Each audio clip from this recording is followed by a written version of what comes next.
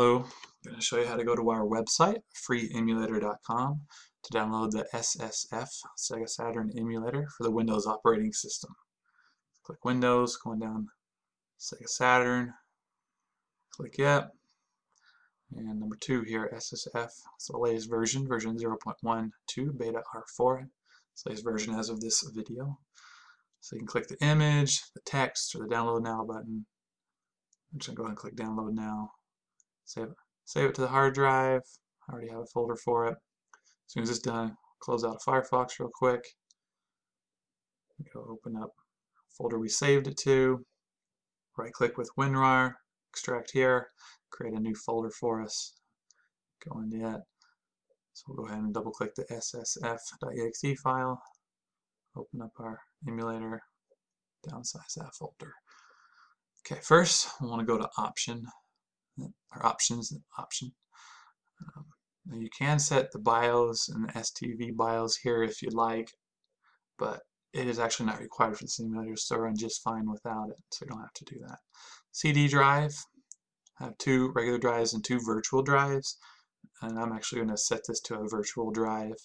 Um, I'll explain more about that here in just a little bit. It's what you need. You need to load it from a, a ROM from a drive though in order to play games with this emulator. Cartridge, that's fine as default. The area code, I'm going to set it to America, Canada, Brazil.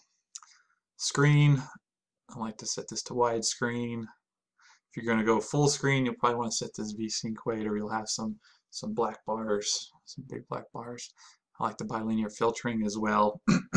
Helps to make the, the video actually look quite a bit better.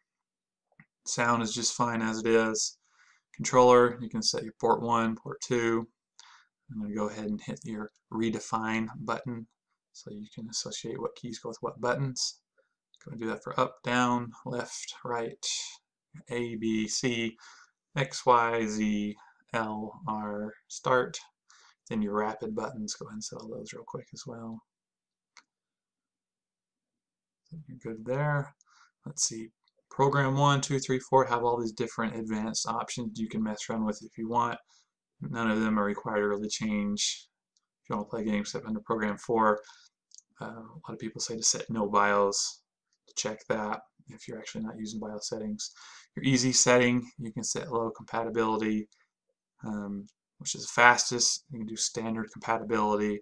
High compatibility slow, highest compatibility very slow, and full compatibility, which is also very slow.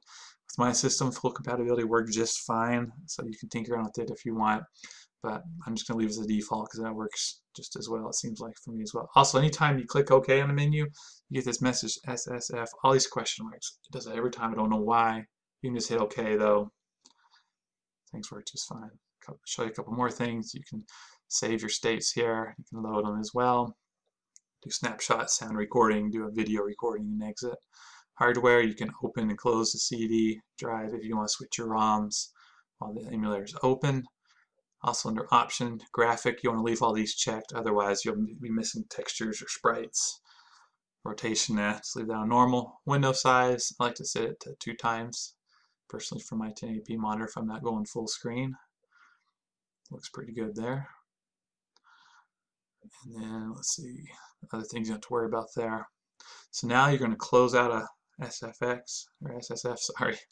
Um, I have Daemon Tools Lite that I use for a virtual CD drive to actually load these ROMs instead of burning the, the games to um, a disk.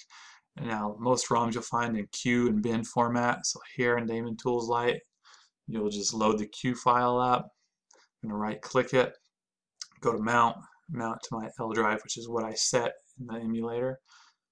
That's my CD drive, so it's going to mount the image. It'll take just a couple seconds. Boom, autoplay, close out of that. Move this window out of here. Go back and open up our SF, SSF again, and then it'll just immediately start playing the game. Pretty sweet there. So I'll let it load for just a second, but after that you're good to go as long as you set your controller right you should you should be able to play it just fine one thing real quick about freeemulator.com we do not host any ROMs we only host emulators um, if you want to find those ROMs I suggest just doing a Google search if you have any questions or suggestions please leave us a comment